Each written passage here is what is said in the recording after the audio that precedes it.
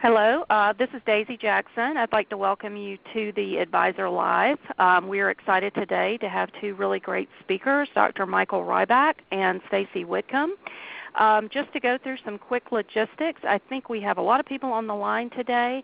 Do want to let you know this webinar is being recorded and that you'll be able to view it later on the premierinc.com events page. Um, that is our Advisor Live homepage. Um, so today our presentation is called um, vancomycin from trough to uh, dosing, vancomycin dosing from trough to AUC. Uh, as I mentioned, our two speakers today are Dr. Michael J. Rybak and Stacy Whitcomb. I will be introducing them in just a second. I want to let you know we will be leaving questions for the end. Um, so if you have any questions, you are welcome to put those into the chat window, uh, and I will read them out at the end of the uh, presentation, or you may pick up the line and speak to the operator um, at the end and, and put your question in that way. So with that, I would like to introduce our two speakers. So Dr. Rybak is a professor of pharmacy with the Department of Pharmacy Practice, adjunct professor of pharmaceutical sciences, and director of the Anti-Infective Research Laboratory of the Eugene Applebaum College of Pharmacy and Health Sciences at Wayne State University. He is also adjunct professor of medicine, Division of Infectious Diseases, School of Medicine, Wayne State University, and adjunct clinical professor of pharmacy, College of Pharmacy at the University of Michigan. Dr. Rybak's research focus is antimicrobial pharmacokinetics and pharmacodynamics, and the assessment of infectious diseases health outcomes, including their relationship to bacterial resistance. His most recent work is focused on the use of combination therapy, including the use of bacteriophages plus antibiotics to prevent resistance. Dr. Rybak is funded by the National Institute for Allergy and Infectious Diseases via, and via several investigator-initiated grants from the pharmaceutical industry. He has published more than 390 manuscripts and authored 20 book chapters on antimicrobial PK and PD resistance and antimicrobial stewardship. He is the editor in chief of the Journal of Infectious Diseases and Therapy and a scientific editor for Infectious Diseases for Pharmacotherapy, editorial board member for Critical Reviews in Microbiology and also for Contagion. He is also a reviewer for several leading publications, including Clinical Infectious Diseases, Antimicrobial Agents and Chemotherapy, the Journal of Antimicrobial Chemotherapy, Open Forum Infectious Diseases, and Lancet ID. Dr. Rybak has served on the guideline committees for MRSA infections for the IDSA, infective endocarditis for AHA, and is the chair of the Vancomycin Consensus Guidelines Committee representing ASHP, IDSA, PIDS, and SIDP. So we are very grateful to have this expert here with us today to talk to us about these changes in vancomycin dosing. Um, our other speaker is Stacy Whitcomb, and Stacy received her Bachelor's of Science at the North Dakota State University in Medical Technology, and she has over 18 years of clinical experience starting her career as a clinical microbiologist and later as a certified infection preventionist in a large multi-entity health organization in the Minneapolis, Minnesota area. Over the last six plus years, Stacy has served as a senior clinical consultant for the TheraDoc product at Premier, providing training and consulting to both pharmacists and infection preventionists across the country. She is now in a role as the her current role as the product director for the TheraDoc product at Premier, and will be talking with us about how Premier is addressing this change to the dosing guidelines. So with that, um, I am going to advance the slide and turn the presentation over to you, Dr. Rybak. Okay, thank you, Daisy. Um, hopefully I have the controls here um, to move on. But I want to thank everybody for joining us uh, this afternoon to talk about vancomycin dosing and the whole transition from trough monitoring to area underneath the curve or concentration curve. With that, I'll get started.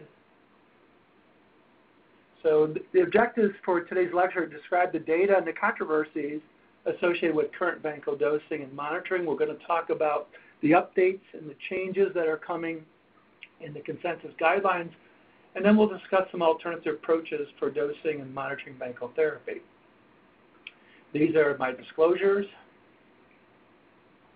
So let's start with why are we doing this? So The vancomycin guidelines are being revised um, because of a, a, number of different reasons, one of which is to uh, reevaluate the, the, pharmacokinetic and pharmacodynamic targets for vancomycin, uh, to reassess um, the monitoring of trough versus AUCs, uh, to revisit vancomycin susceptibility issues because, as you know, that plays a big role in how we dose or how aggressively we dose vancomycin.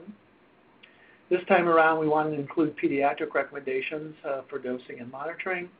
Uh, spend a little more time on uh, body weight and dosage adjustment there, specifically obesity and revisiting loading dose recommendations. We took a look at intermittent versus continuous infusion administration of vancomycin.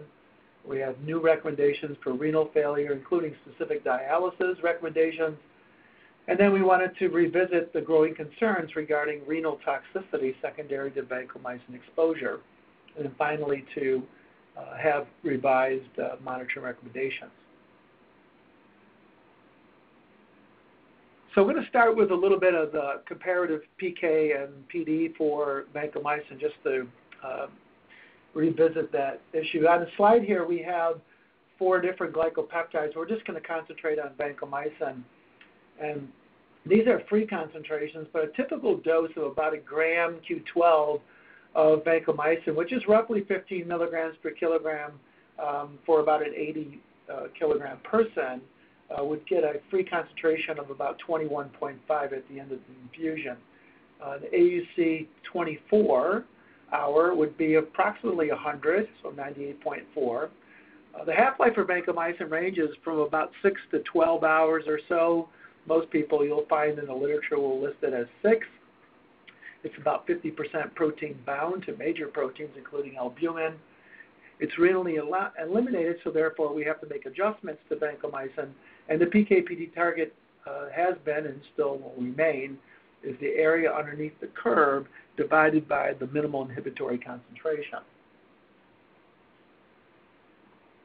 So when we go back and just look at a few pieces of data as to how we came up with the AUC to MIC being the primary um, pharmacokinetic dynamic um, predictor of success with vancomycin, a lot of it comes from animal work such as this. This is a typical mouse thigh model that's used to determine which parameter best fits the antibiotic.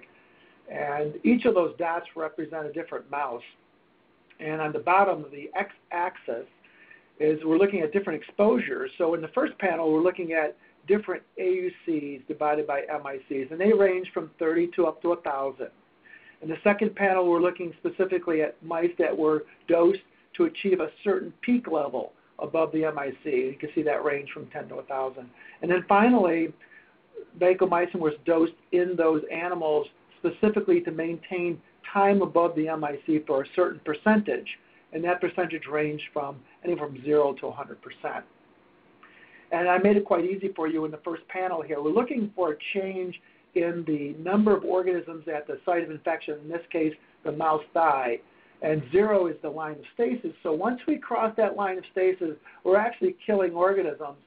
We're looking here for the best fit, and I drew a line through the um, the dots, if you will, the mice for the 24-hour AUC MIC. You can see that's the best fitting data that we have. If we do a line through peak to MIC, there's somewhat of a fit there, but uh, certainly no fit from time greater than MIC. So for our um, results here, it's really AUC divided by um, MIC. and this is further data from the same model here, looking at what exposures are actually required. So before we're looking at um, different ranges here, but here we're looking at exactly the exposures that makes a difference.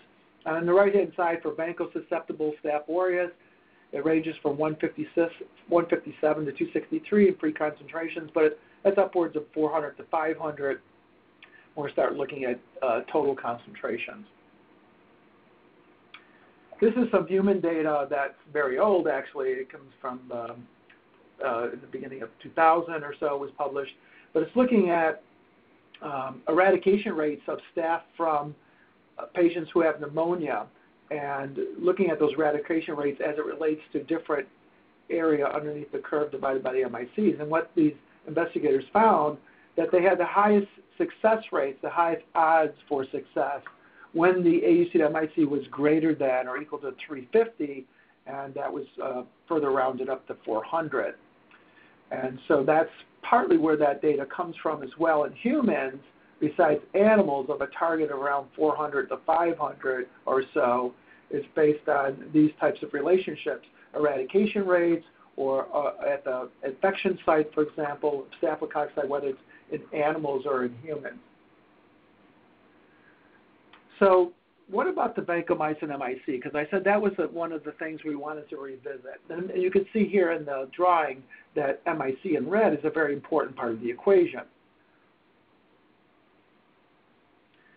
So why is it important? Because if the MIC, uh, we're, here we're looking at the percent of, of the percent of the, your ability to maintain um, an AUC to MIC ratio of 400.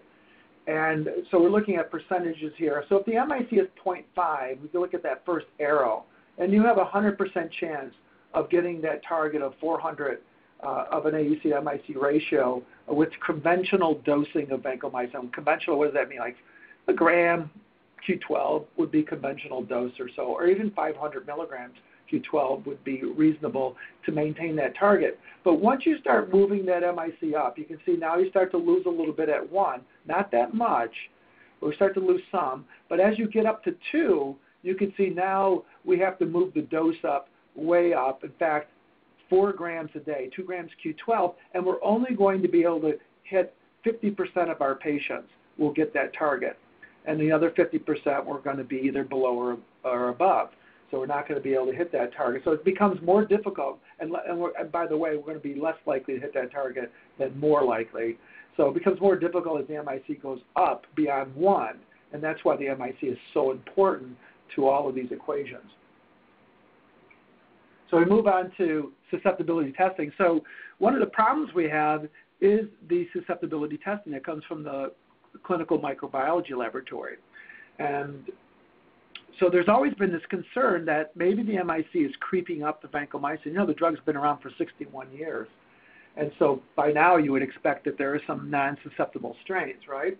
Well, there are regional differences if you dive into the literature. So you can find some outbreaks where there are MICs high of 2. Um, there are clonal outbreaks. That means that the patient's isolate that has an MIC of 2 is being passed from one patient to another. So it's not that all the isolates are 2, it's just that we have a lot of the same um, uh, and an infection control problem. There's even been reverse creep um, been reported in the pediatric literature where over a five-year period they had a lot of MICs of two, and then all of a sudden they didn't see them. Well, most of the problem is really the susceptibility testing method itself. Now, the methods that are out there that are automated are VITEK 2. You might have that at your hospital. Microscan, we used to have that at our hospital or Phoenix, we have that now at the Detroit Medical Center, or maybe somebody does an e-test. And the problem is, is that they all have different results. So in fact, there was a publication that we did in 2013 if we sent out 200 isolates that which we knew what the MIC was by standard methodologies, and we found some discrepancies. Microscan overcalled MICs of 2 by as much as 75%, Phoenix undercalled by as much as 74%, VITEK 2 was 20 to 30% off, and e-test almost always overcalled the MIC, uh, but that was somewhat explainable because the inoculum, the size of the organism you put on the plate, is much higher than traditional testing uh, by microbroth dilution. So the bottom line is that we do get a high variance in MIC back uh, from the laboratory, and it makes a big difference in how we're going to dose vancomycin. Here's a, a paper that was a meta-analysis that looked at nearly 30,000 strains from 55 different studies. And when you look at the pool mean, and most of it was done by hand, by broth microdilution, which is traditional standard, or by e-test or agar methods or automated methods. But at the end of the day, most of the MICs were 1, if you look at the pooled mean here. And in this 55 studies, um, they found no evidence of an MIC creep uh, phenomena. If we look a little bit further, on the next slide, this is a recent study that's come out earlier this year from JMI Laboratories, part of a Sentry surveillance data worldwide. And here I, put a red box around the MIC of 1. You can see for MRSA, they examined 57,000 strains and found that more than 95% of the strains had an MIC of 1. So what is that telling us? That's saying that most of the time uh, we can we can bet that the MIC for vancomycin is pretty much 1. Yes, there's going to be a few 2s out there. There could be some 0.5s, but for the most part, reliably, the MIC uh, is going to be 1. And that's going to, we'll come back to that because that makes a big difference in how we uh, calculate our AUC to MIC. So about 10 years ago, it's, it's, believe it or not, it's been 10 years since the last consensus guidelines for vancomycin came out. Um, we had some recommendations, and let's we, back then we talked about the PKPD target being AUC to MIC. We said it was we should target around 400, and for the various serious infections like bacteremia, pneumonia, meningitis, endocarditis, and osteomyelitis. And even though we knew the AUC to MIC was the primary target, we tried to make it easy for everyone by targeting troughs. There would be less samples that would be drawn, and mathematically, with patients with normal renal function, if you're in the area of 15 to 20, uh, most patients we thought would be getting a AUC MIC around 400 if the MIC was 1. Uh, we also noted back then that having troughs below 10 probably wasn't a good, good idea because it encouraged the development of resistance to vancomycin. So that was then. We also talked about dosing. The typical dose is 15 milligrams per kilogram every 8 to 12 hours. We said use actual body weight, load patients that are really ill, the ICU patients predominantly. Troughs, get them off the third or fourth dose, excuse me, and then just as necessary to get that targeted trough area because we're, that targeted trough was obviously related to the AUC that we actually wanted to get. Well, the relationship since that time, the relationship between troughs and outcomes in MRSA invasive infections hasn't well hasn't been well defined. In fact, there is not many studies that show that you know maintaining those troughs at those levels really improve necessarily improve patient outcomes. There's a couple of studies that have shown a little bit of better result, as you can see on the slide, a lower failure rate of 40% versus 61%. Um, but the real problem that we were, and when reviewing the literature, was that there was a, a growing number of studies that have documented increased rates of kidney injury when aggressively uh, targeting troughs that were greater than 15. If you look at the next slide, this has to do, uh, this is a slide from Tom Lodise, this is a study that uh, he conducted some time ago, but looking at uh, probability of nephrotoxicity. In this case, the y-axis is the probability of remaining non-nephrotoxic. And so if you're up towards the top, you're not nephrotoxic. And in the study, he compared vancomycin standard dosing to high dosing versus linezolid, which is not known to have any kidney problems.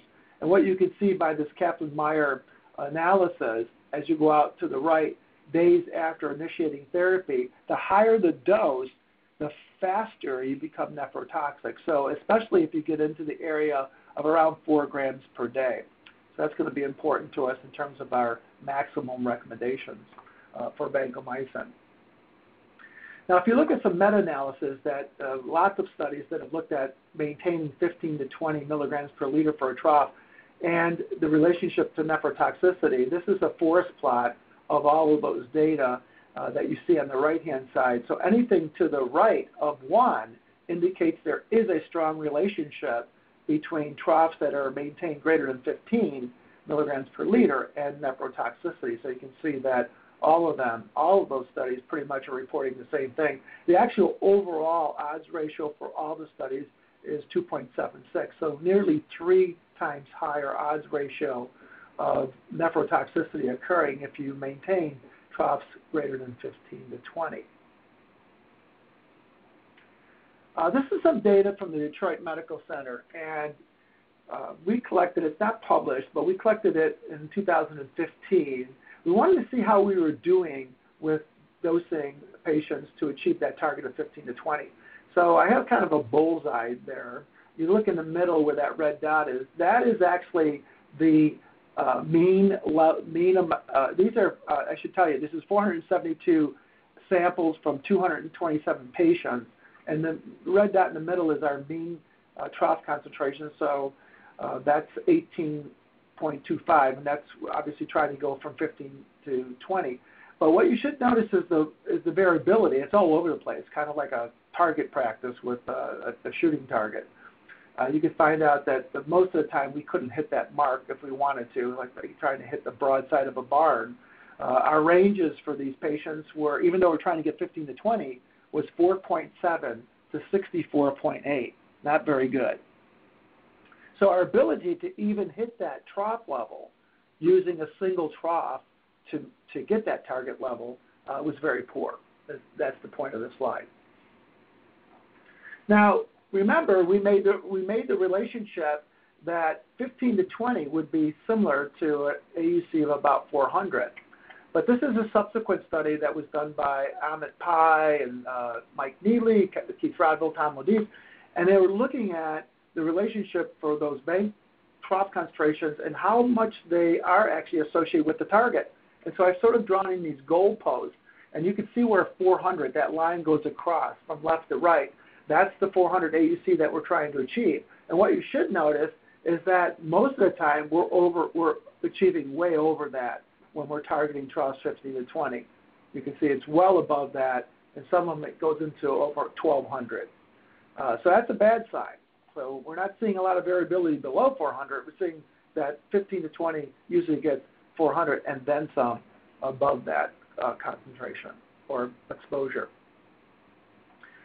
So data support the AUC to MIC ratio of 400. We talked about some of the mouse data, some of the limited human data that supports us uh, eradicating infections uh, when we get maintained that. Um, one of the problems with examining AUC to MIC ratios in the past, and we, as we look through the literature, is that individuals that were studying it were just using simple formulas. They were taking the dose that patients received in 24 hours and dividing it by the clearance, which was derived from creatinine clearance, which, as you know, is not a great estimate sometimes of patients' renal function. And because of that, they were often underestimating what the actual AUC was. So if individuals were to use this type of data, uh, most likely they'd underestimate what the actual AUC was, even though they would report there was a relationship or there wasn't a relationship with outcome uh, with those AUC values. That's because of the variability in creatinine clearance.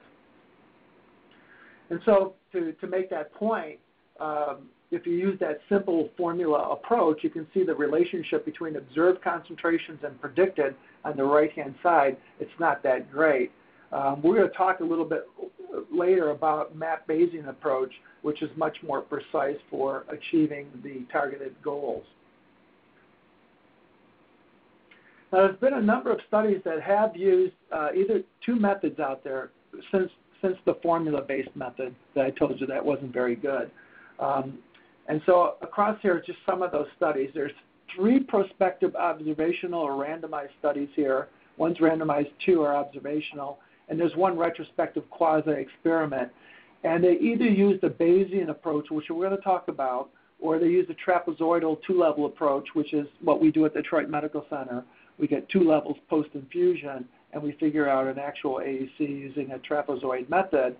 And using those methods, they've been able to show some relationships to outcomes uh, relating to AUC, but mostly a lot of these studies have shown um, that there's a relationship with uh, a certain level of AUC and toxicity. And we're going to talk more about that. This is one of the most recent uh, studies that was published in 2019 um, by Tom Lodise. It's a prospective observational study um, that was looked, looked at day two of vancomycin exposure, and he looked at failure rates, uh, in patients specifically had MRSA bloodstream infections. The study design was a prospective multi-center. It was funded by the NIH, and these were adult patients who had bloodstream infections with MRSA. And Tom used the Bayesian method to estimate the vancomycin exposures.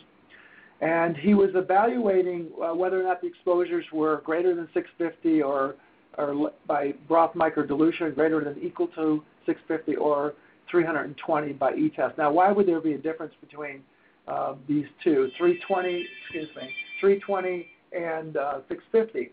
Well, e-test usually has a value, as I mentioned, that's higher than the MIC for broth microdilution. So that means because it's the um, it's a ratio of AUC to MIC, you'll get a much lower exposure. So they're actually equal, depends on what MIC you're putting in the bottom. The outcomes that were evaluated uh, were treatment failure at 30-day mortality, or if the patient's bacteremia exceeded seven days, and secondarily looked at acute kidney injury. Now, Tom did something different here. He actually used a, a global outcome, so to look at how patients did. And the global outcome that I'm going to show you is that the patient, a positive global outcome would be that the patient had uh, no renal dysfunction and they didn't fail therapy. So let's go on and look at that.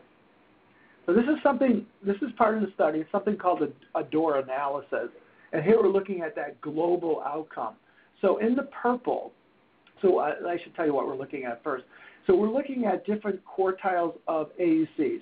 So all these patients obviously had different AUC values depending upon what dose of vancomycin they uh, received and how large they were and what their renal function was. And those exposures ranged anywhere from as little as 94 up to 1755. And so then what this analysis does, it, it starts to group those patients into these quartiles.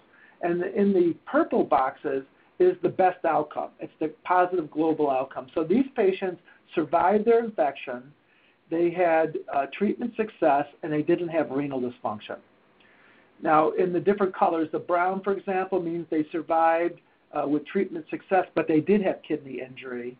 And then there's also they survived in the red with treatment failure, and they had um, renal dysfunction. And lastly, in the blue, uh, they didn't survive. so what we're looking for here is the best relationship. And you'll have to read the study, but uh, second quartile ended up being the best relationship, and that was AUC to MICs that range from 400 to 550 gave the best global outcome. Again, more evidence that uh, patients with AUC MICs in that 400 to 500 range uh, did fairly well. This is a study here um, that was done at Detroit Medical Center by Natalie Finch and published in 2017. And we were looking here at vancomycin uh, guided dosing and the relationship between nephrotoxicity. And remember, we switched over in 2015 to AUC guided dosing. So this is a single center retrospective quasi experiment. Uh, we evaluated patients before and after, so those that got trough monitoring and those that got AUC monitoring. And we did it by the trapezoidal method, as I mentioned before. We also did a map Bayesian approach. And why, why did we do that? Because that was the only way we could calculate what the trough uh, would have got for an AUC. Because with one single level, you can't do that unless you apply a Bayesian approach to determining what their AUC exposure would have been. And so we ended up looking at uh, patients that are fairly severe. They had lots of comorbid conditions, and we controlled for concomitant nephrotoxins and their severity of illness. And we ended up with nearly 1,300 patients. You see there 1,280, 546 trough, 734 AUC guided. And what we found that AUC guided dosing was independently associated with lower nephrotoxicity, so actually a protection if you went with AUC dosing versus if you stuck with the trough uh, guided dosing. And we were able to show uh, by looking at the Bayesian estimates there that the AUCs for the, trough uh, were always higher than the AUC guided methods that we're using at the DMC. You can see there that 0 to 24 hour AUC was 705, but doing it by two levels, it was 474, much safer. 663 when we look at 24 to 48, but if you did it by the AUC guided two level monitoring, it was 532. So again, much better. And this is um, um, looking at a Kaplan-Meier, actually a Cox proportional hazard model. And again, at the top is no nephrotoxicity, uh, and at the bottom is days. And what you can see that it drops off a lot faster, getting more nephrotoxicity over time with trough monitoring compared to AUC monitoring. And again, the red arrow is showing us that the hazard ratio is 0.5, so it's less than one. It means it's protective if you're using AUC dosing as opposed to trough level monitoring.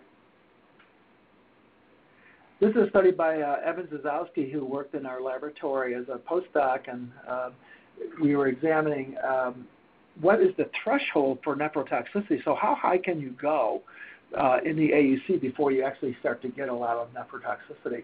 And so I won't go through the entire study, but we're looking at the percent of nephrotoxicity on the y-axis, and at the bottom we're looking at different exposures. And overall, uh, what we found is about 700 is the limit. So once you get up to 700 as an AUC and exceed that, your nephrotoxicity rate starts to climb uh, considerably. So now we know, at least for adult patients, that 700 would probably be the area that we, uh, above 700 would probably be the area that we want to avoid.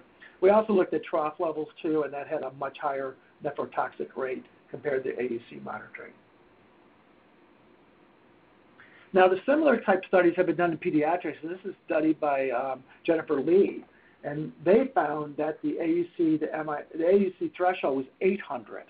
So in adults it was 700, and, and uh, pediatrics it was 800. They also found a higher relationship with using trough monitoring and nephrotoxicity as well in this study. This was um, 680 patients that had uh, 1,500 serum concentrations of vancomycin. Oops. So the preliminary recommendations for our consensus guidelines that are coming out soon, hopefully published before the end of the year, uh, the recommendations are going to be for Staph aureus infections only. Why would that be? Because we only have Staph aureus infections data. Uh, we don't have it for other pathogens right now. Uh, AUC guided dosing approach will be preferred.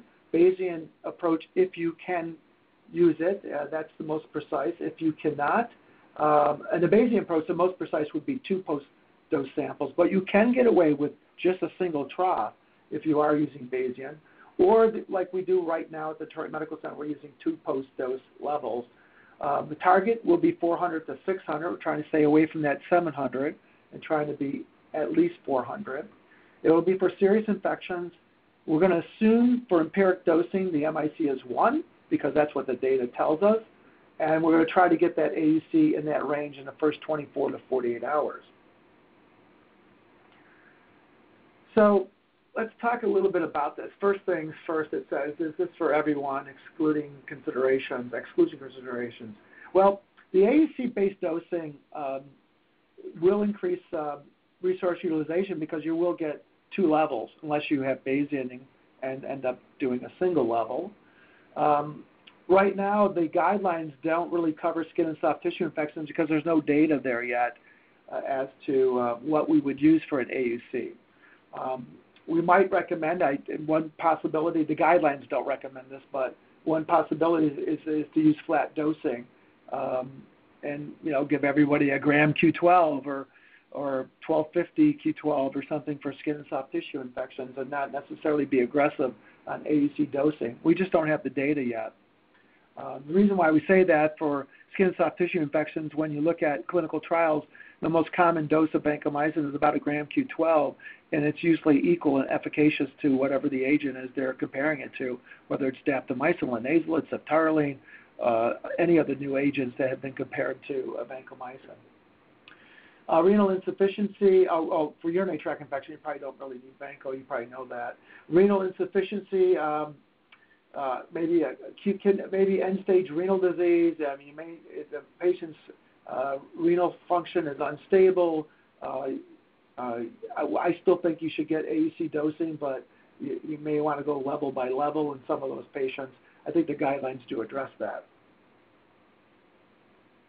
So what about the mass? Um, most of you already do this, um, especially if you're using aminoglycosides, getting a peak and trough. And by the way, vancomycin for about 35 or 40 years was dosed with a peak and trough. So you're used to these formulas. There's nothing magic about them. Uh, this is a formula to get your Cmax and your Cmin, and you've seen this before. Any pharmacokinetic textbook would have these formulas. So nothing new there.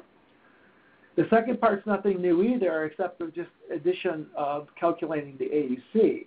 And you can see that uh, there's a two-step process for that. You've got to calculate the AUC during the infusion time, and then you've got to calculate the AUC during the elimination time. and then you just add those two together uh, to get your AUC for 24 hours. So it's just a simple addition, um, again, uh, process. And this is a visual of the same thing. You're going to calculate the AUC uh, during the infusion period and then during the elimination period and just add those two together. So simple math. Uh, your current practice is that you get a trough at steady state and you hope that it's really a trough because sometimes they're not drawn as a trough. And then you proportionally modify the dose. That's what I was showing you before, what the Detroit Medical Center used to do, but it's all over the board. We're anywhere from getting a trough of 4 to 64 in, in our data. Um, switching to AUC is actually more uh, accurate um, as you get multiple samples to calculate the AUC, and there's certainly more wiggle room uh, with the dose uh, when levels are obtained versus just getting a single level. It certainly seems like a lot of math. Again, we're used to that math because we do it all the time. Um, so there are various strategies to mitigate the workflow. Uh, our program is an Excel-based uh, homegrown program that we created for us. It's on our intranet, and we just go to it and get our calculations done. I'll show it to you in a second. Some people have been able to build it into their EMR. I know the University of Maryland has done that. Uh, there's the Bayesian approach, and that can be uh, very automated as well. And there's various online calculators. Um, uh, and I'm just making a point here. Make sure that you know uh, what's going into them, because garbage in, garbage out. Uh, you got to know what's behind the doors, uh, who created these calculators, and where are what information are they using to create those. This is a snapshot of Detroit Medical Center's um, homegrown program in which we are using two post-dose levels. Uh, it's an Excel sheet. Uh, the yellow parts are what the pharmacist uh, fills in typically, and the rest of it's calculated. So you can dial in your dose, uh, what you want to give, and it'll give you a predicted uh, AUC. Um, you can make changes with the creatinine. You, you know, you can make changes on patient's height and weight. Um, same thing you've been doing right along for dosing, uh, except that this is automated. Once you get levels, you just have to put the timing in of the levels, um, when they were drawn, what the concentrations were back from the lab. It's going to calculate a new, um, it's going to calculate the clearance, it's going to calculate your new volume distribution, and give you a steady state AUC calculation. Of course, uh, you can manipulate that. Uh, you can, if you want to modify that, you can go back and make changes, and whatever dose and interval you put in, it'll tell you what your new predicted uh, AUC will be, and it's based on the patient's actual parameters that were derived from those levels. So again, this is a Excel sheet-based uh, calculator. Now, what about the Bayesian approach? Bayesian um, is based on what's called the Bayes theorem. It's basically a statistical theorem um, that stipulates that one can describe the probability of an event based on prior knowledge or conditions that might be related to the event. So what we have in the bottom there is that we need to come up with an empiric dose. It's not that dissimilar to what you're currently doing because you're using some kind of population model in which you have a creatinine clearance, a KE that you derive from some population, whether it's your population or someone else's, and you have a prior volume distribution, so you have clearance and volume distribution um, that you're going to use to help you calculate uh, what the patient's exposures will be for vancomycin. That's the prior model. And then once you get levels back, um, then it's going to be modified, not that dissimilar to what you're doing now. So you get levels back and then you modify your dose. But what the Bayesian does, it actually um, it actually revises the calculation. It, it refines it. It sort of learns from the patient's concentrations and from the data that you're providing and comes up with a, a better estimate of what the AUC might be. So it's a, the ability to make revisions um, from that data, and it can take sparse data as opposed to several different levels and uh, still make uh, pretty good predictions of what the patient's uh, exposures might be. By the way, uh, Bayesian type approaches are used in weather forecasting. They're used in casinos to decide how many uh, tables they need in a certain room to make a certain profit. So it's uh, it's been used for many many years. In this case, we're using it mathematically to help us predict patients' exposures. Uh, so the advantages of, uh, here's the pros and cons. So the advantages of Bayesian-based methods versus traditional is that it can be modified to include select pharmacokinetic models.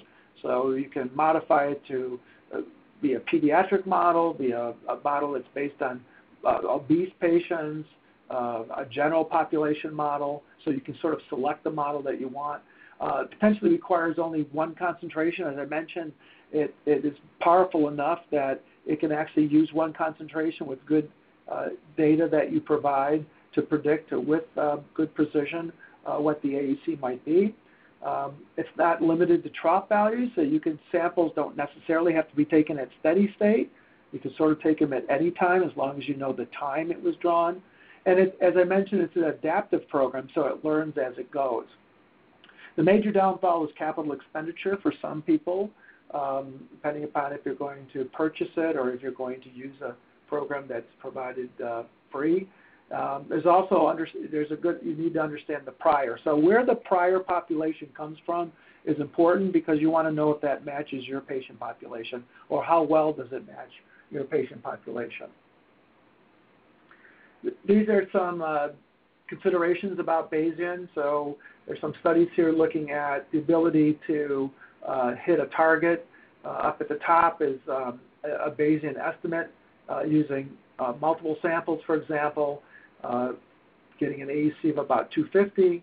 Uh, if you use the Bayesian approach only with just one level, you see that it derives an AUC of about 259. So remember, 250 is the reference. So using one trough level gets 259. If you use a peak and trough, it gets 239. If you use uh, peak and trough, you get 247, for example. Uh, so it just tells you the more you know, how precise it is based on how much data you actually feed it. But it is possible to get away with one level. Um, on the bottom is a, is a number of programs that are out there, um, Bayesian pro, programs, and this is sort of showing their uh, precision uh, for getting AUC. So you could take a look at those references if you like. Um, but there's programs like APK, Best Dose, Dose Me, Insight RX, Precision PK, and there's another equation-based uh, formulas as well. And that, by the way, there's a publication there I would recommend that you take a look at to review from pharmacotherapy on those various methods. Um, this is, happens to be Insight RX, uh, shows the program um, uh, for empiric dosing. Um, and you can see that uh, Insight RX is lo looking at a dose of a gram, for example, every eight hours. It's predicting what the AUC is It's predicting what the trough levels are going to be, and it's actually giving you a percent. Uh, if you go with that particular concentration, what's the likelihood of toxicity? Uh, you know, 19% in that case. At the bottom, it gives you a visual showing what your uh, exposure levels will look like at steady state concentrations. Here's another look at a Bayesian program adjustment more clearly. You can see what your previous dose was, and it's giving you suggested dosing here. So you pick what you like um, based on the, your particular patient and exposure. Again, it's going to give you the different AUC values that you can go with. Um, if you want to be in that 400 to 600, for example, range. Uh, and you can look at the far right. You can look at what the toxicity percentages are. Uh, obviously, the 1097 has a 56% chance of causing nephrotoxicity compared to the 378 or 557, for example, in terms of toxicity rates. This is, again, the software that's out there. You can take a look at that pharmacotherapy publication um, to get more ideas on that. Uh, when to get levels, um, again, first dose versus steady state. And one of the biggest pros uh, of AUC-based dosing is the ability uh, to get specific PK off the first dose, and you can make adjustments right away. You don't have to wait till steady state. Uh, general rule of thumb, if you don't trust the empiric equations or the patient is high risk of AKI, then get the levels right away. Don't wait till steady state. Um, one PK on one day one could look different than day three. You probably already know that because it could be accumulation. Bayesian, you can get levels whenever you want to because, again, uh, the program will adjust for that.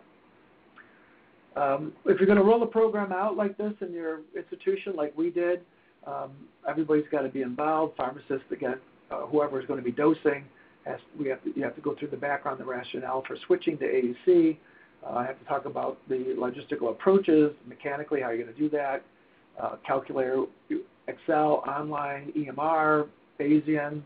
Um, obviously, you have practice cases um, to to show everyone how this is going to work. So education is really key. And you got to have everybody involved. So phlebotomy, you got to be aware you may be taking more than one level. Um, prescribers have to be aware as well. Um, uh, laboratory certainly got to be aware aware of everything. So nursing, uh, phlebotomy, prescribers, laboratory, all have to be educated about this new program. So summary AUC-based dosing is coming. Uh, actually, it's here. Um, the math isn't that hard, but it's similar to what you've been doing all, all along. Uh, there are lots of different strategies to facilitate day-to-day dosing. Um, there's calculators, there's online calculators, there's homegrown. You can do an Excel sheet type calculator like we have done in the past. You can go to the Bayesian type program. And then education is really important for implementing uh, this at your institution if you're going to be successful. I think that should be all I have. I'll turn okay. it back over to Daisy. All right. Thank you, Dr. Rybak. Please um, stay on the line in case we have some questions in just a minute. Um, Stacy, I'm going to turn it over to you. Stacy is going to tell us how Premier is helping its members uh, meet this challenge with the change in the guidelines. Great. Thanks, Daisy. And thanks, thanks Dr. Rybak, for the very informative presentation. Um, I want to make sure we have time for questions, so I may cut my slides a little bit short here today. But I just want to start by saying my colleagues and I at Premier, we've had the opportunity to talk to many Premier members about the impact of shifting to AUC-based dosing for vancomycin and aminoglycosides. There's excitement about refining our approach to treating patients for such a commonly used medication as vancomycin based on the science and clinical evidence. And this represents a watershed moment where precision medicine is being introduced at scale for application in patient care. Next slide, Daisy. So with this, I just want to let you know that Premier has partnered with InsightRx to bring precision dosing into the clinical workflow. Its full integration into TheraDoc provides a means to help over 1,100 members introduce the guidelines on day one. We are excited because this partnership stands to help our members achieve better outcomes through Bayesian modeling, lower costs by reducing the number of drug levels required to treat a patient, and it's incorporated directly into the TheraDoc clinical surveillance workflow. Next slide. This module introduces precision dosing not only for vancomycin, but also introduces precision dosing for aminoglycoside dosing and monitoring. This fully integrated module works helping pharmacy clinicians and infectious disease specialists predict expected, expected concentrations and arrive at patient-specific dosing regimens using the Bayesian model. Essentially, it serves as a means to incorporate the AUC-based dosing into your clinical practice, offering multiple adult, pediatric, and neonate dosing models for vancomycin. And it also includes aminoglycoside models for those same patient populations. The integrated InsightRx module not only includes these dosing features, it also includes reporting and analysis features that track your time to therapeutic concentration sample reduction, and rates of acute kidney injury in these populations. Next slide, please. At Premier, we're really excited about the coming changes and appreciate the hard work of Dr. Rybak and others to bring the science and clinical evidence of vancomycin to clinical, clinical practice. Listening to our members, we appreciate the desire and the challenges associated with adopting the new vancomycin guidelines. For those reasons, we have introduced a solution to help clinicians adopt the new vancomycin guidelines. For more information regarding TheraDoc InsightRx module or how Premier can help you successfully adopt the guidelines, please contact us at the email on the screen, which is clinicalsolutions at premierinc.com. And with that, I'm going to turn it back to Daisy for questions. Okay, um, great. Thank you, Stacy. Um, so we did have a couple of questions come through the chat window that I'm going to um, read out. The first one is for Dr. Rybak. For those of you on the phone, um, you are able to um, ask questions to the operator. Um, operator, they just need to press 1 on their phone. Is that correct? Uh, actually, it is 1 followed by the 4 on their telephone, and they'll hear a three-tone prompt to acknowledge their request. Okay, so if you have any questions you'd like to put forward, please do that. Uh, I'm going to read off the first question that came through the chat window. So, Dr. Rybak, you mentioned at DMC that you're using the trapezoidal 2 post dose level method. What are your considerations for switching to the Bayesian approach from an institutional point of view? What is my consideration for switching? Yeah, so um, um, we're assuming you're going to implement Bayesian at DMC. Is that correct? I believe. We are exploring that. Um, okay. Obviously, it's not a decision I can make for the Troy Medical Center. Okay. Uh, but it is being discussed as a uh, potential upgrade to what we're currently doing. Um, we do feel that um, the precision is there and it allows us to use uh, single trough level to do our monitoring but still derive an AUC. And it's especially and particularly important to our pediatric population. We have the Children's Hospital of Michigan, and they're highly interested in you know drawing one level as opposed to drawing two levels from our sure. pediatric population. So we are very interested in exploring this and looking forward to Bayesian options. Uh, so, uh, what about um, instituting it? I, I, I, suppose if it's already part of a Epic or Premier system, it would be easier to do. I mean, there are uh, options for online um, access to these programs, so that might be a, an option as well to look at the different um, programs that are out there. But the, the easiest would be if it's already integrated, because then you could just access it immediately. Our two-level calculator uh, requires us to back out of the EMR and go to an intranet, do our calculations, and then back back into the EMR to do our notes and uh, actual recommendations. So it would be great okay. if it was a one-stop shopping. Yeah, that does sound like that would be much easier. Um, so I did have another question uh, about the official guideline publication. Um, we didn't know if you would be able to give us, as one of the co-authors, any inside information on when those might be finalized. Well, they're, the, that's a good question. So they have been reviewed and re-reviewed by all of the organizations involved uh, in the guidelines. Uh, they have been blessed by the board of directors for each of those organizations. We all have we have that blessing now, and it's uh, basically going through one more hoop.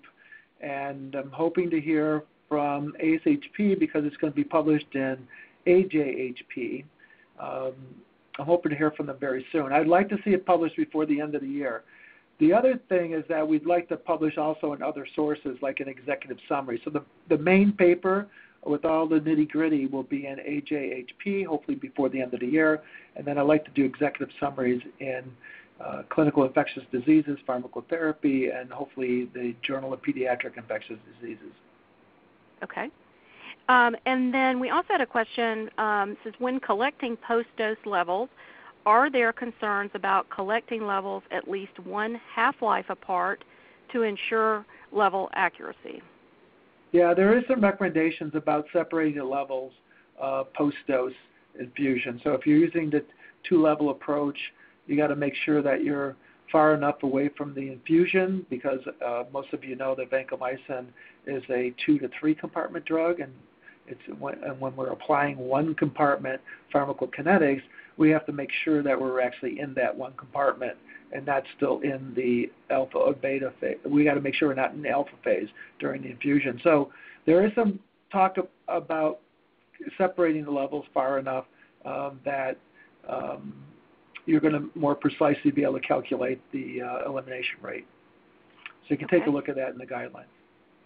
And then one other question. It says, when do you need to recheck the levels? So um, we may need a little clarification on that. I'm assuming they mean once you have have AUC dosed the first patient, do you need to do it again? Well, that's all. The, that's a clinical decision. So once you have your once you have your levels back and you're in a uh, you have an AUC that's been derived from your levels, whether it's one or two, depending upon what approach, Bayesian or non-Bayesian um, it's really if you made the, it made the target, then it depends on your patient's stability. If they're not changing renal function or volume, um, you're probably good to go. And how often do you check? I guess is how long is the patient on the therapy.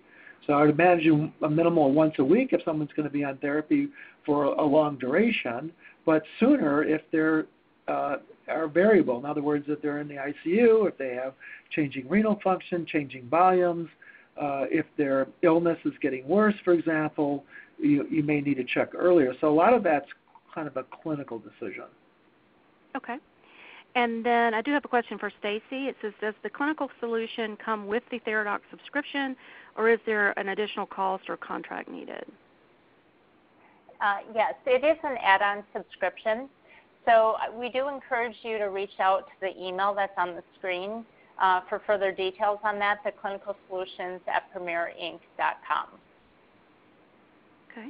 And operator, are there any questions on the phone line? There are no phone questions at this time. Okay. Um, those are all of the written questions that I have. Does any anyone else out there still have a question? Okay. If there's anything that we didn't cover today, or if you have a question you think of later, even for Dr. Rybak, if you want to hit that clinical solutions at premierinc.com, we will make sure that it is forwarded on to him. Um, but otherwise, um, I want to thank both of our speakers for such an excellent presentation.